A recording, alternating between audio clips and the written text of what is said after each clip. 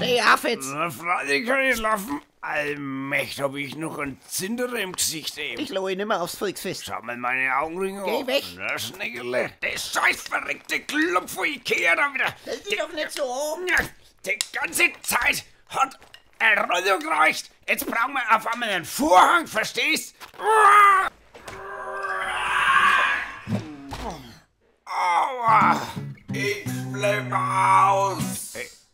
Ich hab das auch mit der Wasserwoche aufgehängt oder, oder wieder bloß äh, einfach so, wer ihr gemahnt habt oder was?